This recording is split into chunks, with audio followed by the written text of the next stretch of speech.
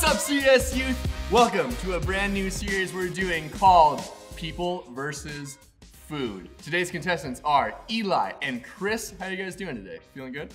Great. Yeah? Do you guys like hash browns? Oh, sometimes. that's to too bad. Sometimes. well, I wish you guys liked them a lot more because Eli and Chris are going to be eating a 100 hash browns today. Whoever can finish their platter of hash browns first is the winner. All right, ready, set, go!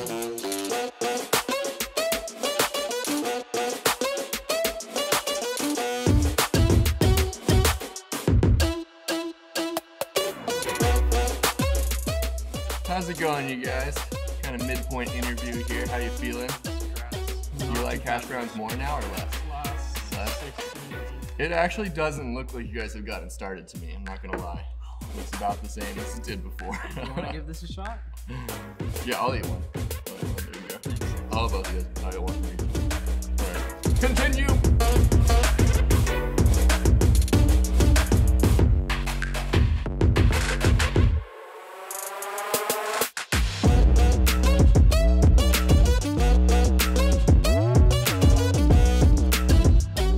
What's up, you guys? So, we have now entered the final phase of the game. There are now 20 hash browns remaining from each plate. Chris and Eli are going to race to the finish to see who can finish their plate the fastest. All right, you guys ready?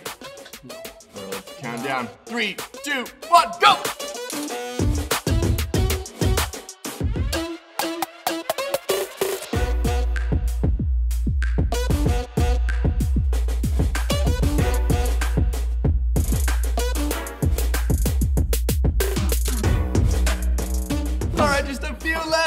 Can Eli do it? He's only got two left. Chris has about 10 remaining. Who's gonna finish first? Mamba mentality. You got this, dude. All right, no, yeah, I'm being realistic. Eli wins.